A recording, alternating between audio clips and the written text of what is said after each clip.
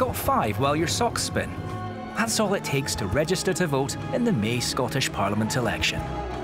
Just five spare minutes, and you're all set to have your say on the issues that matter to you. So, what are you waiting for? If you've recently moved or you've never registered, apply by the 19th of April at gov.uk slash register to vote. Your vote matters. Don't lose it.